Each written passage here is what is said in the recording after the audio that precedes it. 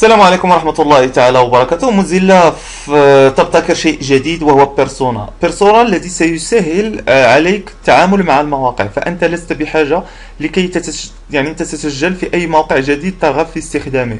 فقط عن طريق بيرسونا آه، يمكنك أن تقوم بإدخال إيميل ليتم تسجيلك في الموقع ولكي يتم آه، يعني استخدامك أو ليسهل عليك استعمال ذلك آه، الموقع. بيرسونا فكرته تعتمد أنه يجب عليك إدخال إيميل في أي موقع ترغب في الدخول إليه أو تسجيل الدخول فيه بدون أن تقوم بعملية sign up أو عملية تسجيل الدخول.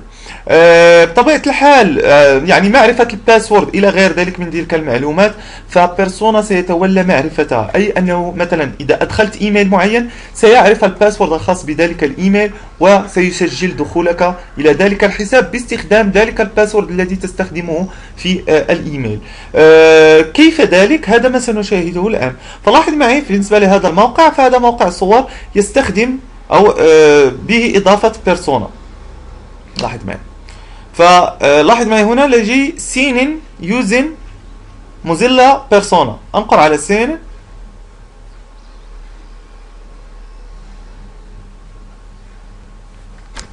ثم سأدخل الإيميل.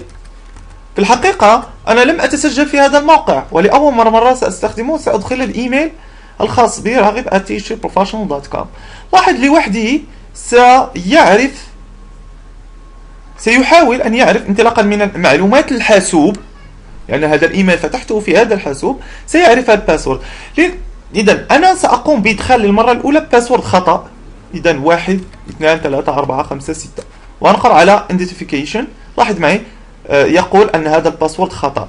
لكن في حالة إذا ما أدخلت ال password الخاص بهذا الإيميل وأنقرت على identification لاحظ معي أنني دخلت.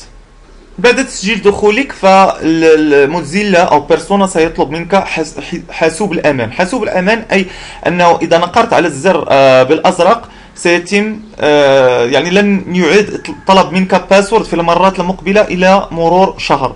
بالنسبة للزر الأحمر يعني أنه فقط في يعني في حالة إذا كنت تستخدم بيرسونا في حاسوب آخر لا تمتلكه. هنا ف آه، يعني فقط بعد انتهاء ال session الخاصة بك سيتم آه، عمل disconnect لك وبالتالي عندما عند الرغبة في إعادة استخدام بيرسونا سيطلب منك password إذا كما تلاحظ معي فهذا ابتكار جميل جدا من موزيلا فايرفوكس وهو في الحقيقة يسهل عليك آه، التعامل مع المواقع.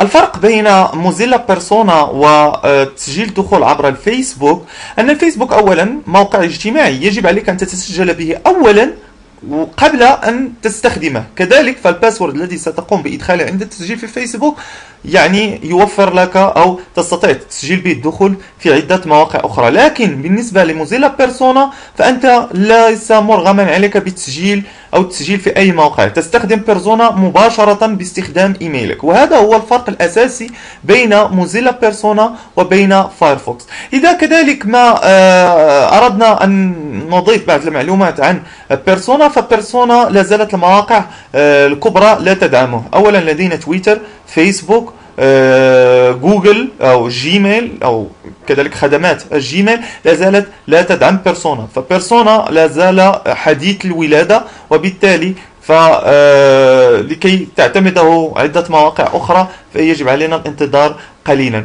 يعني في نقطة فيسبوك هل يمكن أن تعتمد بيرسونا؟ أعتقد أن الأمر يستحيل لأن آه، فيسبوك أولا لديها مشروعها الخاص وهو آه، أو ابتكارها الخاص وهو ال login أو تسجيل دخول عبر الفيسبوك.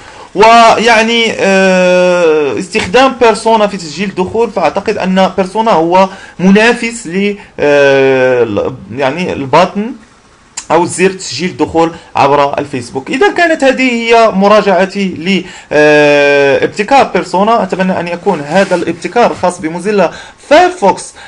قد نال إعجابكم للمزيد من المعلومات. يمكنك دائما الالتحاق بالموقع www.mozilla.org/persona السلام عليكم ورحمة الله تعالى وبركاته.